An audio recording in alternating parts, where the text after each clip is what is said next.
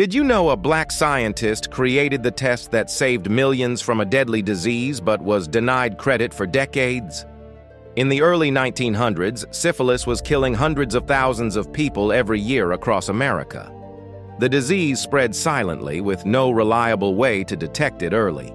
Dr. William Augustus Hinton was working in a Harvard Medical School laboratory, but despite his brilliance, racism kept him from getting a professorship. For years, he worked tirelessly to develop a better blood test. The existing European tests were wildly inaccurate, giving false results that ruined lives.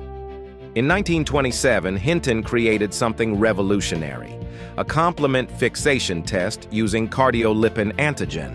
His innovation eliminated false positives and could catch syphilis in its earliest stages. During World War II, militaries worldwide used his test to screen millions of soldiers. But pharmaceutical companies and medical institutions refused to give him credit because of his race. Eventually, his test became mandatory for marriage licenses and blood donations. The Hinton test became the international standard, preventing countless infections and deaths worldwide.